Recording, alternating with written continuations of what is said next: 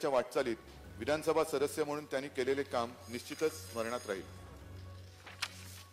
कैलासवासी सुरेश नामदेव गोरे. विधिमंडळात स्थानिक स्वराज्य संस्थातील आपल्या अनुभवाच्या जोरावर विशेषतः ग्रामीण भागात बरोबरच शहरी निमशहरी अशा सर्वच संमिश्र गोष्टींची भान बाळगून नेतृ नेतृत्व तयार होण्याची प्रक्रिया अलीकडे सुरू झाल्याची दिसते आणि त्यातूनच पुढे आलेले नेतृत्व म्हणजे कैलासवासी सुरेश नामदेवराव गोरे. सुरेश गोरे यांच्याबद्दल ज्या वेळेला माझी त्यांची प्रथम भेट झाली आणि निवडणुकीला उभं राहण्यासाठी त्यांना शिवसेनेच्या वतीने मी संधी दिली तेव्हा खरंच अत्यंत एक साधा नम्र मितभाषी जास्त न बोलणारा त्यांच्याबद्दल विचारल्यानंतर त्यांनी सांगे एकच फक्त ओळीत मला सांगितलं साहेब विजयी होऊनच येईन. साधारणतः लोकप्रतिनिधी किंबहुना राजकारणी म्हटल्यानंतर एक अति आत्मविश्वास असतो. तो त्यांच्यामध्ये त्यांच्या चेहऱ्यावरती तो न दाखवता त्यांनी कार्यातून दाखवला. आणि मला खरंच कौतुक आहे की गेल्या वेळेला दुर्दैवाने जरी त्यांचा पराभव झाला तरी त्या आधीच्या निवडणुकीत ती निवडणूक ही फार बिकट होती. पण त्याही परिस्थितीत त्यांनी जो विजय मिळवला त्यावरून त्यांचं कार्य ही किती तळागाळापर्यंत पोचलेलं होतं याची ओळख देणार ते होतं. सुरेश रावांचा जन्म सत्तावीस डिसेंबर एकोणीशे त्रेसष्ट रोजी पुणे जिल्ह्यातील खेड तालुक्यातील चाकण येथे झाला. त्यांचे शिक्षण B com in taxation law diploma in business management असे झाले होते. गोरे यांनी खेड तालुका शिक्षण प्रसारक मंडळाचे अध्यक्ष विद्यार्थी कार्यकारी सेवा सहकारी सोसायटीचे चेअरमन चाकण बिगर शेती सहकारी पतसंस्थेचे संचालक महाराणा प्रताप क्रीडा मंडळाचे अध्यक्ष मानव कल्याण विकास ट्रस्टचे विश्वस्त स्वर्गीय गुलाबराव गोरे प्रतिष्ठानचे संस्थापक अध्यक्ष अशी आपली चौफेर कार्यकक्षा ठेवली होती. पुणे जिल्हा परिषदेत दोन हजार दोनमध्ये सदस्य म्हणून त्यांची निवड झाली. दोन हजार पाचमध्ये पुणे जिल्हा परिषदेचे उपाध्यक्ष आणि त्यानंतर जिल्हा परिषदेच्या अर्थ आणि शिक्षण सब समितीचे सभापती म्हणून त्यांनी उल्लेखनीय कार्य केले होते कार्य केले आहे. सरळ आणि मितभाषी स्वभावामुळे ते लोकांमध्ये प्रिय होते. खेड तालुका शिक्षक प्रसारक मंडळाच्या माध्यमातून शिक्षण क्षेत्रात त्यांनी उल्लेखनीय काम केले होते. विविध सहकारी आणि सामाजिक संस्थांच्या माध्यमातून अनेकविध उपक्रमांचे आयोजन करण्यातही त्यांचा पुढाकार असायचा.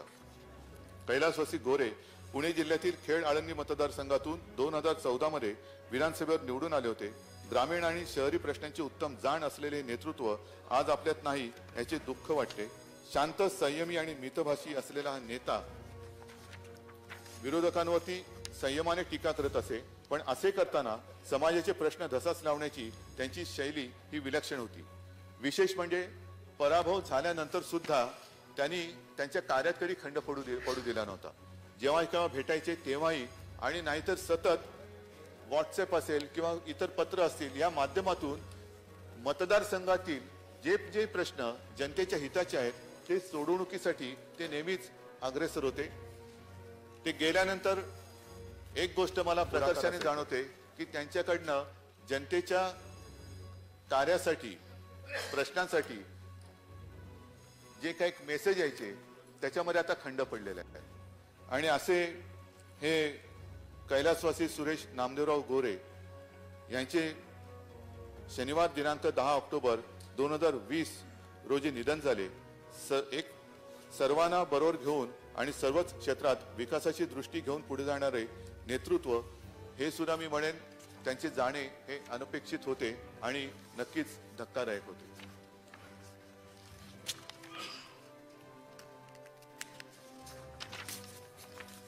कैलासवासी डॉक्टर जगन्नाथ सीतारामजी ढोणे आपल्या विधिमंडळाची म्हणजे पर्याय पुणे जिल्ह्यातील महाराष्ट्राच्या संसदीय परंपरेची श्रीमंती ही आहे की आपल्या या सभागृहात उच्च विद्या पुणे जिल्हा परिषदेचे उपाध्यक्ष तसेच जिल्हा परिषदेच्या अर्थ व शिक्षण समितीचे सभापती म्हणूनही त्यांनी उत्तम काम केले. कैलासवासी गोरे हे दोन हजार चौदा मध्ये खेड आळंदी मतदारसंघातून महाराष्ट्र विधानसभेवर निवडून आले आणि त्या दरम्यान मी मुख्यमंत्री होतो. माझा अतिशय निकटचा संबंध त्यांच्याशी आला.